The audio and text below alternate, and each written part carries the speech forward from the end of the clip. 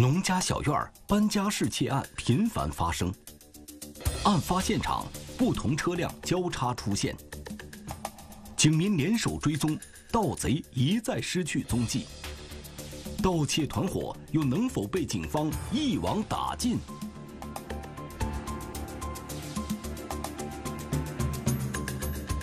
空房生祸，天网栏目即将播出。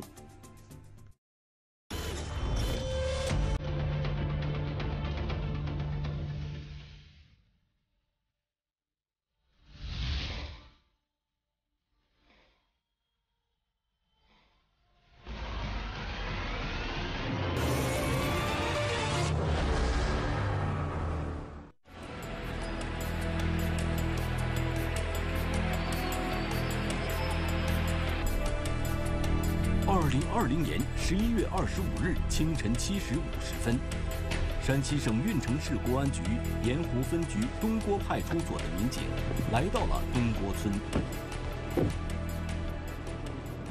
丢了哪些东西？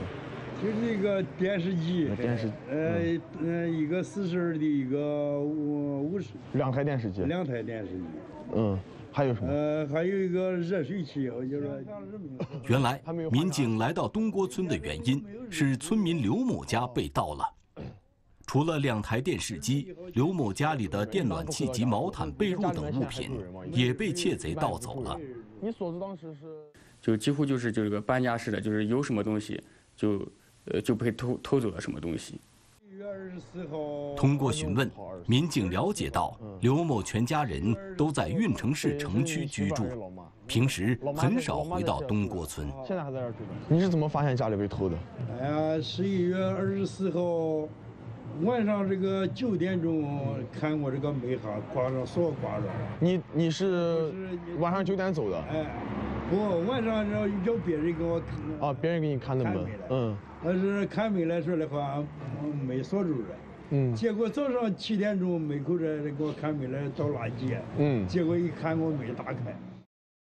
因为邻居知道他经常不在家，然后就给他打电话说：“你这个院门怎么开了？嗯，要不你回来看看吧，是不是看家里丢东西了？”当时你当时你第一时间跑回来看家里面是个什么情况？家里都是。翻的有没有翻？把锁的房门全部撬开，屋里头这翻的乱七八糟的。呃，除了屋，除了这个外面的锁，家里面的锁全部是剪断的还是？全部都是剪断。剪断的，锁子全部给你剪断了。全部剪断。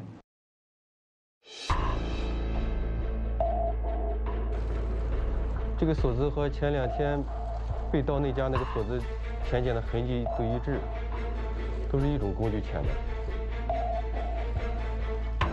勘察现场的民警为何做出这样的判断？难道在东郭派出所辖区还有类似的警情发生吗？二零二零年十一月十五日早上八点，我们辖区民警接到第一起报警，嗯，就是这一家龚女士家丢失了一辆三轮大安牌的三轮电动车。事情发生在十天前的二零二零年十一月十五。接警当天，民警展开调查走访。谢谢。当走访到与发案的东郭村相邻的村庄时，民警竟然又了解到了新的情况。你回来的时候门还打开？村民们啊，老百姓这个，呃，告诉我说，这一家当时也丢过东西，就是这个，呃，杨先生家也丢过东西。于是我就找他。村民反映的事情。发生在六天前的二零二零年十一月九日，事发地点是与东郭村相邻的界村杨某家。可是，既然失窃了，警方为何没有在第一时间接到报警呢？找到杨某以后，民警了解了事情的经过。嗯，他也不知道家里面具体丢哪些东西，他只发现他发现的只有一壶油和两罐蜂蜜。还有几床被子，家里面倒是被子啥东西翻得乱七八糟的。原来这位杨某也不在村里居住，家中哪天被盗，他自己也不清楚。此外，杨某觉得丢失的这些物品并不值钱，所以他就没有报警。走访时，民警发现杨某的邻居家安装了监控设备。民警调取相关的公共视频，发现，在二零二零年十一月九日凌晨三时三十七分，杨某家门前出现了一辆三轮摩托车，开车的中年男子拿着手电筒，径直走到杨某家门前。大约过了一分钟，这名男子又驾驶着这辆三轮摩托车快速离开了。因为晚上监控质量不是太好，然后这个这个嫌疑人这个身份了这些咱也不能这个不能判定。通过这段视频画面，民警判断杨某家被盗的时间应该是二零二零年十一月九日凌晨。这个中年男子与二零二零年十一月十五日盗窃郭某家的窃贼，会不会是同一个人呢？民警追踪可疑的三轮车，但是并没有发现这辆车的踪迹。民警分析，驾车人行走的路线很可能是村里的小路。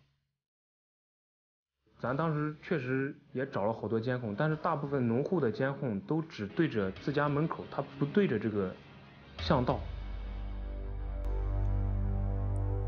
紧张侦查的过程中，东郭派出所的民警。又接到下月村另一位村民杨某的报警，家中丢失了有电动机、呃电焊机、切割机、电视以及一些零钱。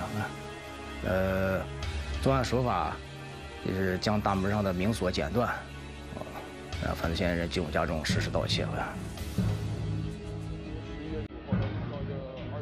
民警到案发现场周边进行走访排查，有村民反映说，在凌晨一时到三时之间，曾听到村中有犬吠声，并且还有类似三轮摩托车行驶的声音。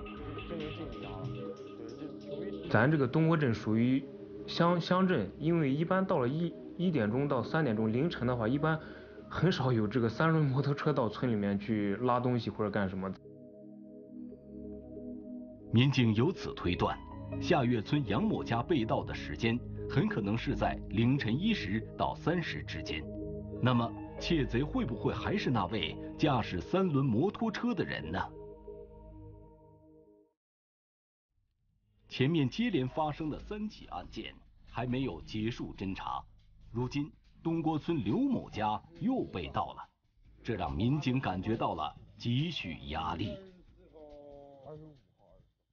现场非非常的凌乱，我们当时在现场的地上，呃，发现了有好多的足迹，足迹的花纹也比较明显，我们就嗯进行了提取。在前期的侦查中，民警只发现一个驾驶三轮车的可疑人员，可是，在刘某家，民警却发现了两个人的足迹，这让民警感到有点意外，难道？盗窃刘某家的窃贼另有其人吗？然而，让民警没想到的事情又发生了。东郭村刘某家被盗案的勘查工作刚刚展开，民警又接到了临近村庄赵某家被盗的警情。于是，民警立刻从东郭村赶到了发案的界村。不出民警所料，与其他几个受害人家一样，赵某的家。也是常年无人居住。进进过咱这个院子，你多长时间回来看一次？大概一星期看呀。一星期回来看一下，我看一下，再回家里面看一下，看一下家里面这些东西都好着吗？是吧？在现场，民警发现赵某家的门锁也是挂式门锁，与前几起案件吻合的是，窃贼也是使用类似钳子的工具将门锁剪断的。早上什么时候发现的？在这个就快十点。谁谁发现的？赵某告诉民警，是邻居发现他家门锁被剪断，并且感觉院子里有异样，怀疑是遭了贼，就打电话告诉了他。嗯，你当时进里面看了吗？看有没有丢什么东西啊？我丢这个空调，呃，一个空调，还有一个制冷机，呃，就是空空调外挂的制冷机。呃，还还有什么？除了空调之外，赵某家里新做的几套被褥也被窃贼拿走了，进行搬家式的盗窃，作案手法比较相似。民警询问赵某的时候，盐湖公安分局刑侦大队的民警闻讯也来到了现场，参与办案。这现场的足迹虽然很乱，但是看出来就是两个人的足迹。两个人在那来回走动，有一种是运动鞋的足迹，一种是胶鞋的足迹。刑侦民警与派出所民警合力办案，在赵某家又发现了两个人的足迹。民警凭经验判断，盗窃刘某家和赵某家的窃贼很可能是同一伙人。在赵某家，民警提取到两个人的足迹。但是除此之外，并没发现其他有价值的痕迹线索。当天，就在民警在界村和东郭村展开侦查工作的同时，距离东郭镇将近三十公里的北乡镇，也有群众报警家中失窃。窃贼同样是剪断大门上的明挂锁，作案手法同样是搬家式盗窃。受害人家中不仅丢失电视机、电冰箱这些大件物品。还丢失了一千元现金、手表和一些金首饰。至此，一天之内连续发生了三起，并且案发现场距离将近三十公里，受害人丢失了电视、空调、冰箱等大件物品。如果是同一伙窃贼，能够短时间内搬走这么多大件物品吗？是不是同一伙人干的？当时刚开始的时候，确实话是大家心里都没底。为尽快获取有价值的线索，民警再次到辖区内的各个村庄进行走访。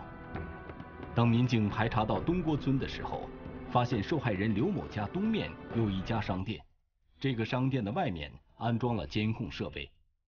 通过店主的手机，民警调阅了相关视频。可是，从二零二零年十一月二十四日午夜到二十五日凌晨，视频画面中始终没有出现。此前民警看到的那辆三轮摩托车。等视频画面的时间到了十一月二十五日凌晨二时四十分的时候，民警有了发现，一辆由西而来的面包车出现在画面中。随后，这辆面包车停在路边，而停车位置后面一百米的地方正是受害人刘某家。这辆面包车是偶然停在这里，还是另有目的？咱就一直盯着这个面包车，后来看看了大概看了有十来分钟吧，就看见有人有两个人从从面包车上下来，下来之后，然后就朝这个案发现场这个位置走去。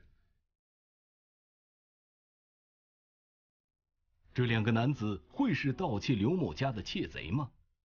几分钟后，民警再次有了发现。当这两个男子返回面包车时，其中一个穿着深色衣服的男子抱着一台电视机。而另一个穿浅色衣服的男子则拿着被褥等物品。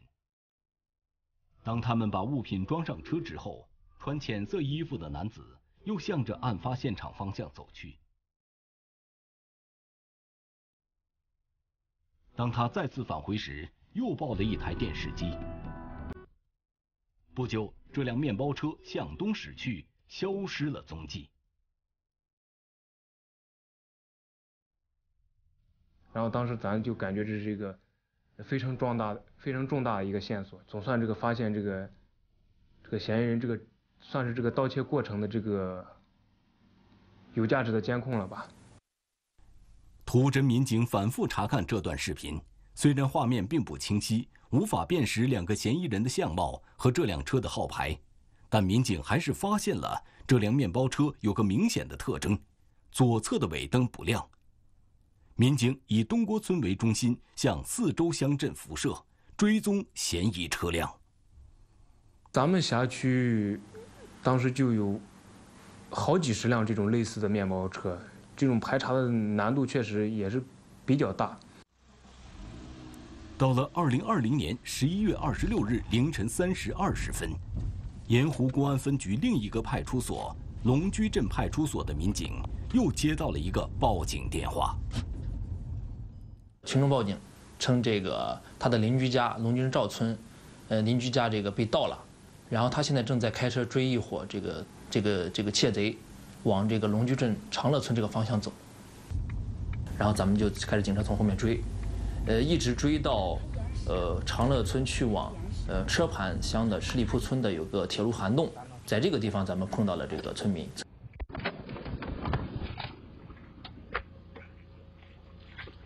人不在这头啊？人人人跑，人跑，人跑了呀？跑了。嗯嗯嗯，他当扶过，他吐一下，这这几个人？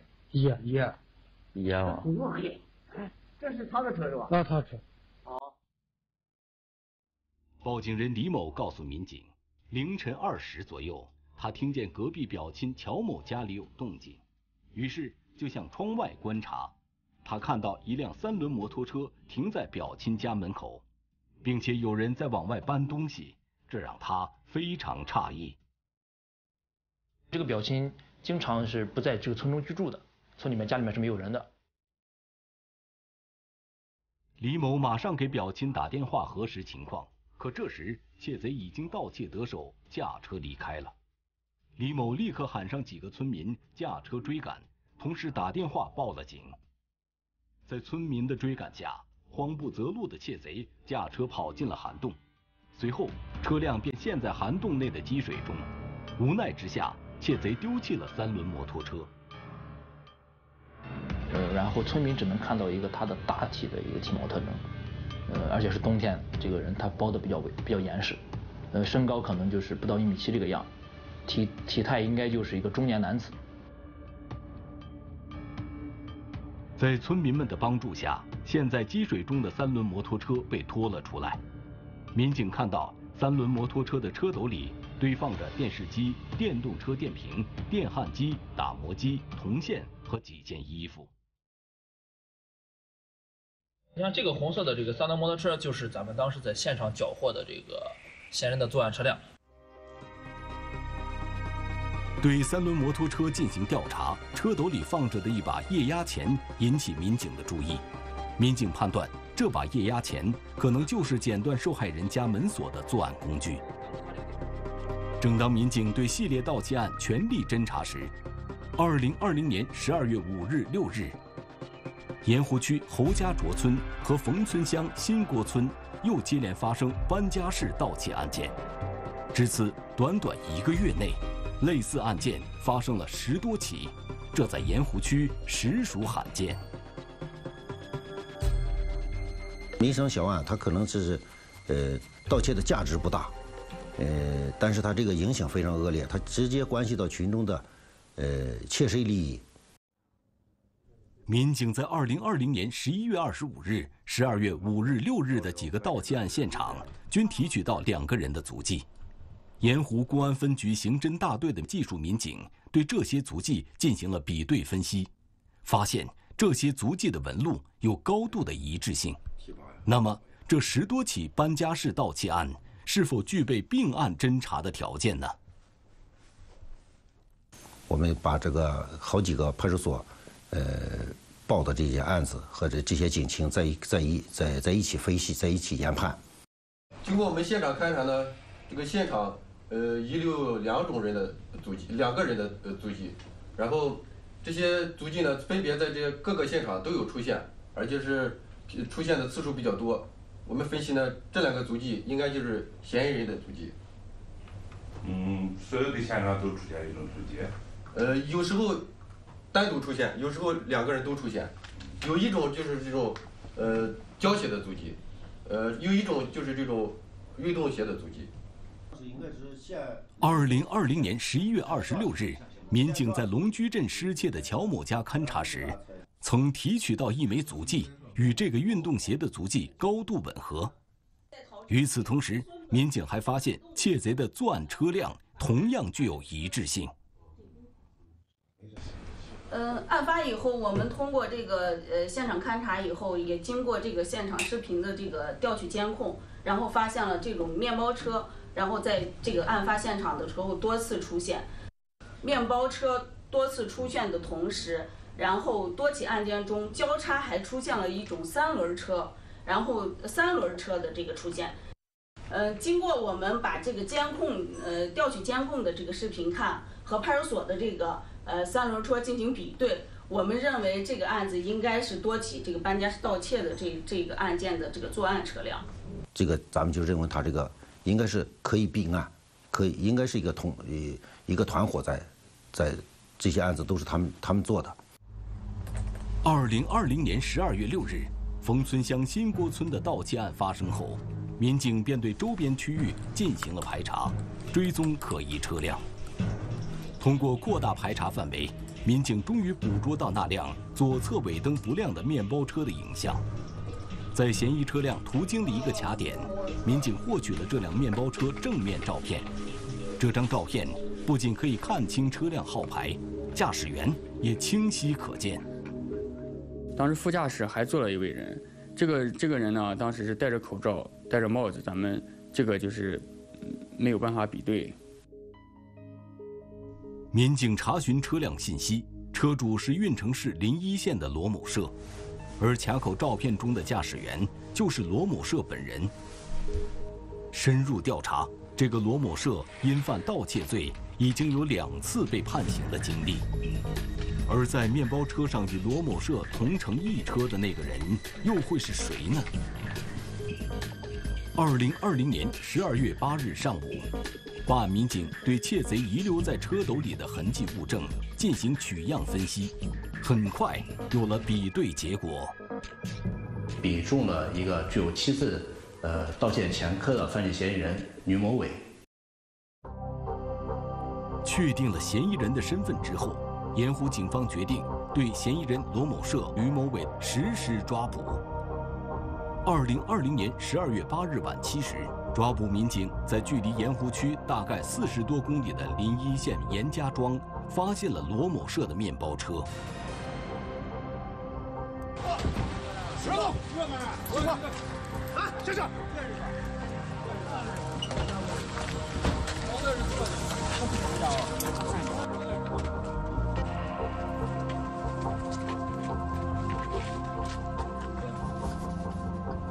罗某社落网之后，另一组民警在吕某伟的居住地运城市下县对其进行抓捕。可是吕某伟并不在家中。啊通过调查摸排，发现他在这个火车站附近一家酒店。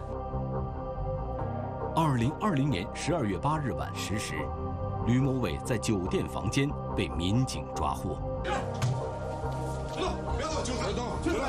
必须挂！两个人拉到过来，必须挂！来，过来，快快快，快！据这个罗某及吕某交代呢，他们俩，呃，就是盗窃完东西之后，把这个赃物都是卖给这个安邑一个姓景的一名男子。二零二零年十二月九日凌晨一时，涉嫌收赃的嫌疑人景某珠在家中被民警抓获。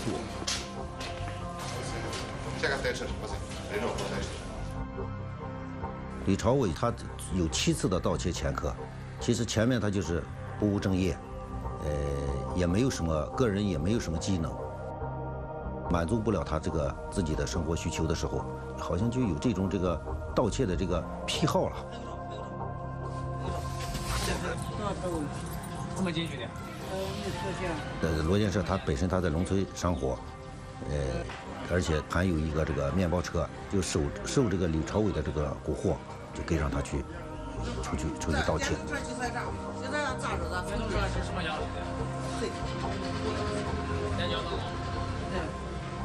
景建珠就是，呃，他其实是自己有这个从事这个电器修修理的这个，呃，这个手艺吧，他从中收收回来赃物，然后再倒卖的话。他能谋取中间的差价。